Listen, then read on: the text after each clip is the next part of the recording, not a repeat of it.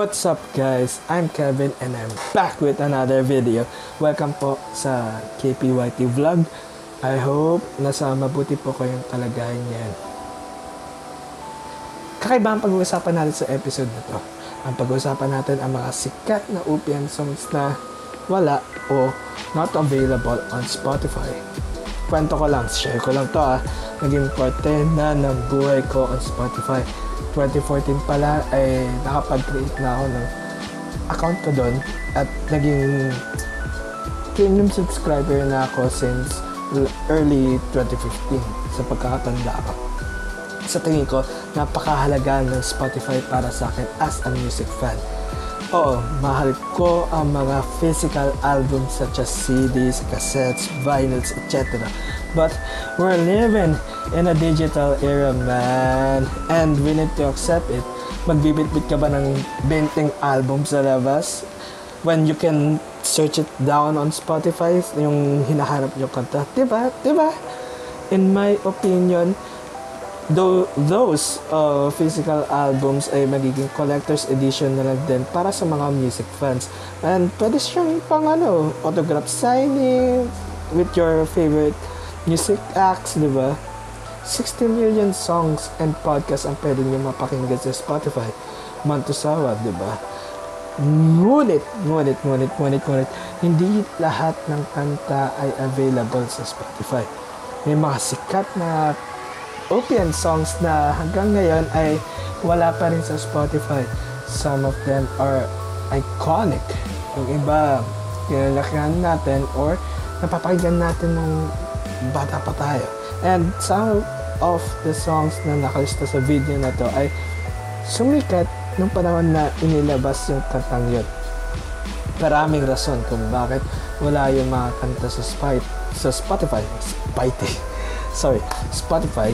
Either due to licensing and maybe possible then dispute with record labels and artists na involved sa kantang yun. On this episode of KPYT Vlog, inilista ko ang mga sikat na kanta, gawa o kinanta ng musikerong Pilipino na wala sa Spotify as of this recording, okay? Note lang, hindi ko isasama ang mga kantang banyagan na kinover ng mga Filipino music acts. Bago magsimula, shout out muna sa mga tropa ko sila Jeng Lopez, Icon Reyes, and Ado Paglia. Also guys, don't forget to subscribe to this channel, KPYT, and hit that notification bell para updated kayo sa mga latest KPYT videos. Now, on the list. Number 1. Chicosay Vampire Social Club by Chicosay. Okay, may Chicosay Vampire Social Club sa Spotify. Ngunit, ang hinahanap natin ay ang original o yung rock version ng kantang yun. Ang kantang to ay kasama sa kanilang self-titled album na inilabas noong June 2006. Chigasai Vampire Social Club won the Favorite Rock Video Awards at the 2008 Mix Music Awards. Tulad na sinabi ko, nasa Spotify itong kantang to. What the fuck, Kevin Pablay? Tigil na natin. Pero wait, ang mapapakinggan o masasearch nyo lang sa Spotify yung acoustic version ng Chikusay Vampire Social Club. Okay, baka sabihin nyo, napaka-OA ko naman. But, bro, man, bro, wala pa rin tatalo sa rock version ng kantang yon man. Sobrang iconic nun at naalala ko pa na lagi nasa number 1 yung kantang yun sa daily top 10 ng mix at sa iba-ibang music charts na rin as well. Diba? Naalala ko high school pa ako. Ang, sobrang ganun yun eh. Sobrang ganun yun nung high school ako. And um, hanggang ngayon naman din naman ay napaka-cool yung katang yan. Pero mas ramdam ko yung rock version ng Chigasay Vampire Social Club kesa dun sa acoustic version ng kantang yun. Isa pang kanta na wala sa Spotify from Chico Sai ay ito. Yes. wala yung 7 Black Roses sa Spotify. Like, why? Like, why, man? Like, why? Bakit wala pa sila sa Spotify? Come on! I don't know, dog. Number 2. 2. Momay by One Thugs and Harmony. this song, man. Itong rap song na ito ay sumikat mga bandang 2003 to 2006 at lagi itong pinapatugtog sa mga computer shops at minsan sa mga jeep na rin eh. Naalala ko pa, pinapatugtog to sa ilalim ng ano eh, Jackman Emporium sa ilalim sa ano, sa baba ng LRT Monumento Station ng high school ako. And for sure, some of you ay naging background music na to habang naglalaro kayo ng Counter-Strike sa mga computer shops. Either pinapatugtog ng may-ari, di ba? Ang kantang ito ay tungkol sa alam mo na yun, lyrics pa lang nakante. Pero ang catchy ng tunog nitong kantang to, kaya naging paborito ng karamihan, including me. Yep, aminado ako dun. I love this song. I know some of the OG hip-hop songs here in the Philippines were released independently, but I think it's time and I'm hoping na mailagay sila sa Spotify as well. Sa sobrang sikat ng kantang to, pinerform ng One Thugs and Harmony ang Momay along with the Manila Symphony Orchestra during Road to Araneta Hip Hop event sa Araneta Coliseum noong April 2020. Fast forward to 2020, kahit ang dami nangyayaring kaguluhan or di kanais-nais sa mundong ito, pinalabas ng One Thugs ang kantang Huwag Ka Nang Lalayo, ang part 2 ng Momay, which you can listen to it right now sa YouTube. Pwede nyo puntahan yung YouTube ni Bling01. See the description below for the link. And speaking of computer shops and hip-hop songs, number 3, Sana by Gagong Rapper. Naging soundtrack to ng mga computer shops. Hindi lang dito sa Metro Manila, pati rin sa mga probinsya. Marami rin sa inyo, siguro, and I think, inilagay niyo tong kantang to sa Friendster profile niyo. Diba? Tapos pag pumunta kayo sa YouTube and sinerch nyo yung sana by Gago Rapper, mapapansin nyo, puro tribute videos, tapos puro mukha ng mga crush nila yung mga pictures ng mga crush nila yung nasa video na yun. Tapos yung background song, itong kantang to. ah, those were the days, man. I hope nasama rin tong kantang to tulad ng isa nilang kanta which pag-uusapan natin yan mamaya. Number 4, Gayuma by Abra featuring Tyro and Jericho Aguilar. Nakilala si Abra sa mga flip-top battles noong 2010 or 2011 at mas naging mainstream siya dahil sa kantang ito.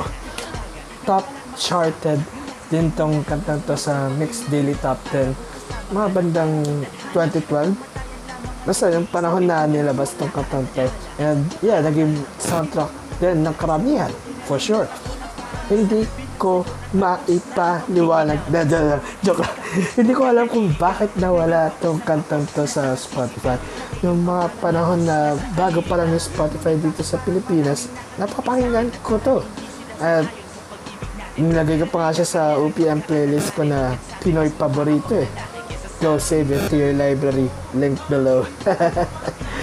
Kaya nagtataka lang talaga ako kung bakit nawala yung kanta sa discography ni Abra sa Spotify. Don't know. Hindi ko maipaliwanag talaga.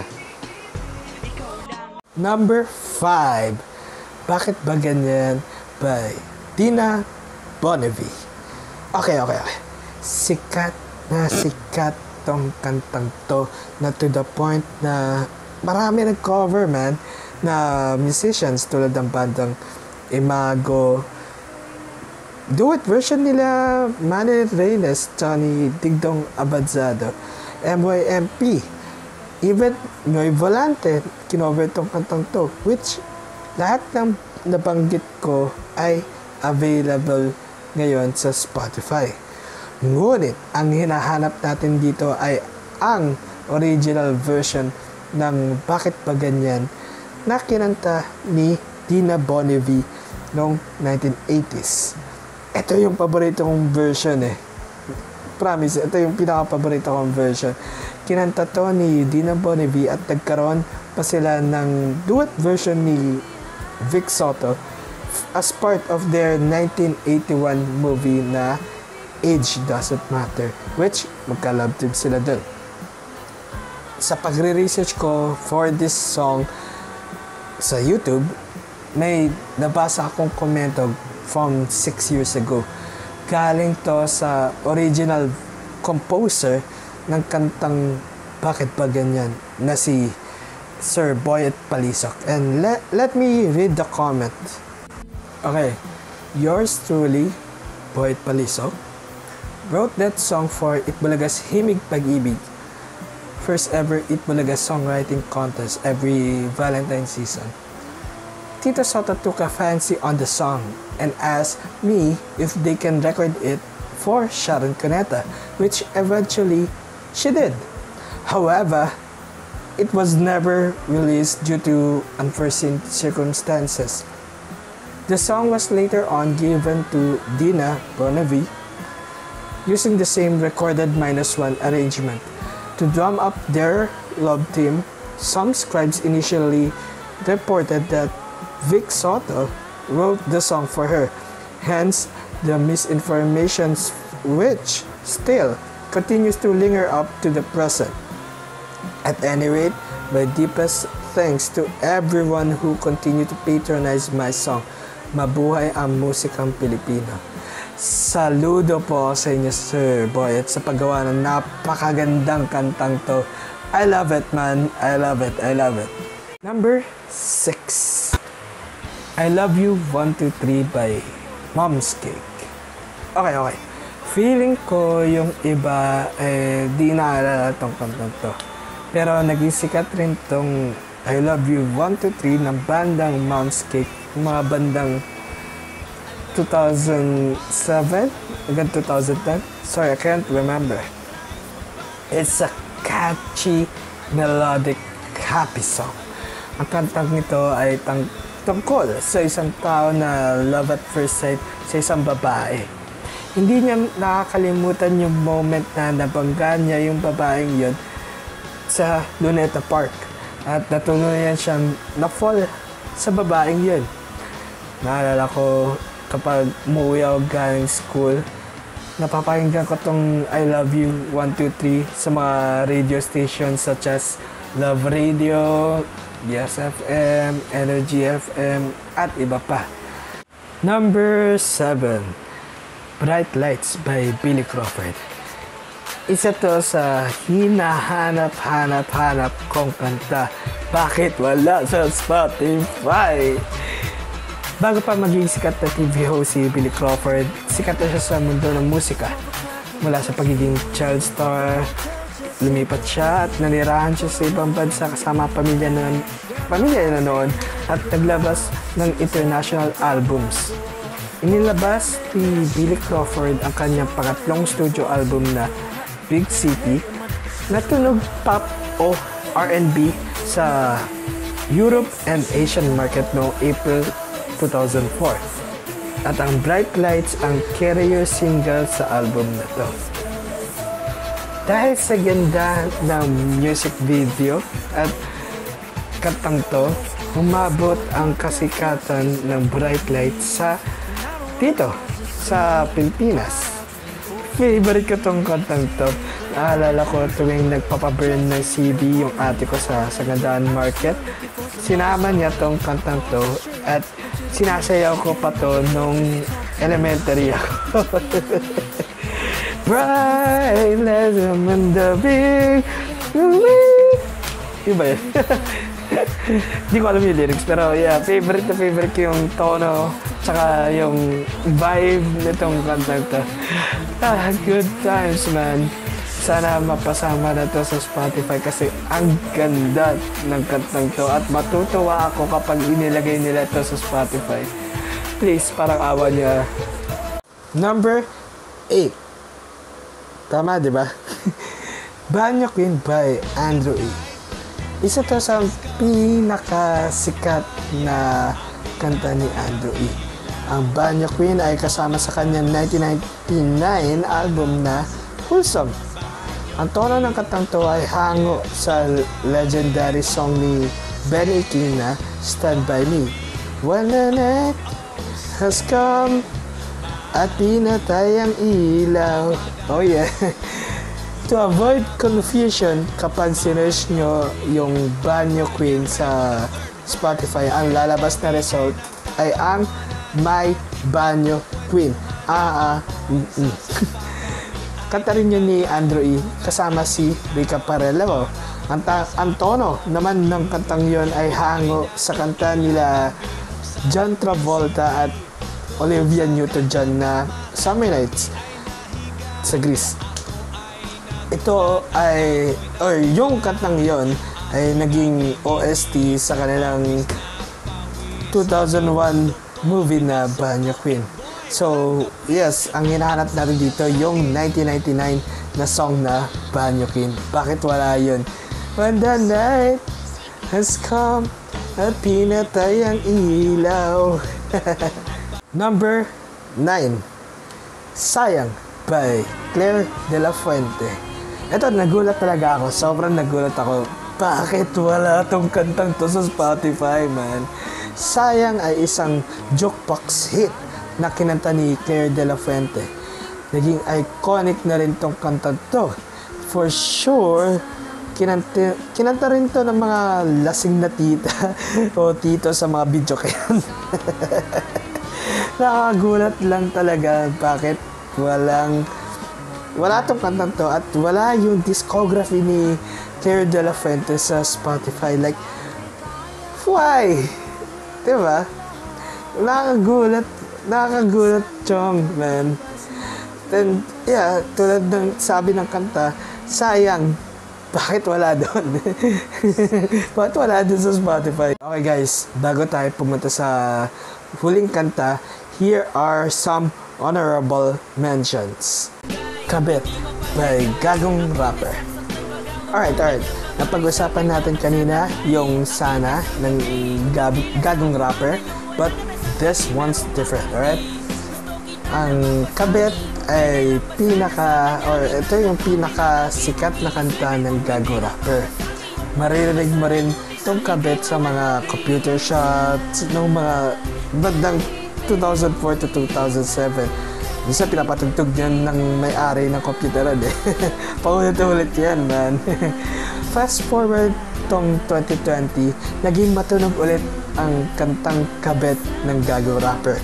Pinasikat ni Mimiya ang kantang to via a TikTok dance challenge na kung saan ay sinasayaw yung second stanza second stanza ng kanta na nakaliri. Eh, hindi ko gagawin yan. hindi ko gagawin yan, okay? ah, man, dahil sa kasikatan ng kantang yan ngayon, sa wakas ay nasama na ang kabit sa Spotify. At isa ako natuwa doon. Naging available na siya sa Spotify. Ngunit, ngunit, ngunit, nagulat ako. Biglang nawala ulit yung kantang yun sa Spotify. In fact, nung time na naging available yung kantang yon sa Spotify ay naisama ko agad siya sa Pinoy Paborito playlist ko.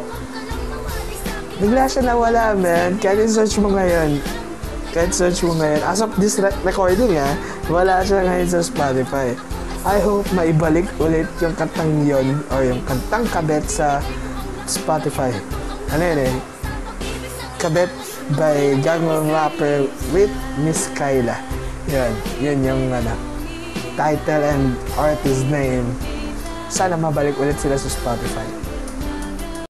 Another honorable mention, ang huling El Bimbo by Kamikaze. Kamikaze covered the Eraserheads legendary hit Ang Huling El Bimbo na may pagka punk rock yung datingan ng kanta. The group recorded the song but never na-release sa market. Kumbaga, na-upload yung covered song sa online pero hindi siya naisama sa kahit anong album ng Kamikaze nor sa mga tribute albums ng The Eraserheads. May narinig pa nga ako dati na dapat isasama daw yung version na yon sa isang tribute album for Eraserheads ngunit hindi raw natuloy yung plan na yon. Paborito ko tong covered song na to at naala, na, naalala ko na LSS din ako sa version na to nung high school ako. I think perfect din to na maisama sa Spotify. Hoping. Number 10. You'll Be Safe Here by River Maya. Oh my God! Fuck me! Hindi ako makapaniwala na hanggang ngayon ay wala pa rin tong kantang to sa Spotify. Jesus man! Ang You'll Be Safe Here ay kanta ng River Maya mula sa EP album nila na You'll Be Safe Here at inilabas ito noong 2005. The song was used for originally created as the theme song ng sikat na ABS-CBN TV series na Spirits. Inibitahan ang bandang River Maya para tugtugin tong kantang to along with Royal Symphony Orchestra ng Thailand sa MTV Asia Awards 2006 na naganap sa Bangkok, Thailand. Bangkok, Thailand. Isa to sa pinakasikat na kanta ng River Maya. And throughout the years, marami na rin nag-cover sa kantang sa kantang yun. Tulad nila Elmo Magalona at ang badang Saint Wolf which medyo trip ko. Trip ko yung version nila actually. Of course, as a music fan guys, nagtataka ako kung bakit wala to sa Spotify. Bakit? Gusto ko siya ilagay. Gusto ko, gusto ko na ilagay tong original version sa aking Pinoy paborito playlist. And yup, as a River Maya fan, it feels like parang may kulang sa discography nila sa Spotify. Kaya please, please, please, please, please, please, pakilagay na tong original version ng You'll Be, You'll Be Safe here sa Spotify. Parang awa nyo na po. Parang awa nyo na po. Please, man. There you have it guys. Mga sikat na kanta na wala sa Spotify. May alam pa ba kayong mga OPM songs na hindi pa rin available ngayon sa Spotify? For sure marami pa yan. Tell us below on the comment section. Don't forget to like this video and subscribe to my channel. My name is Kevin and thanks for watching guys. This is KPYT Vlog and see you on the next video.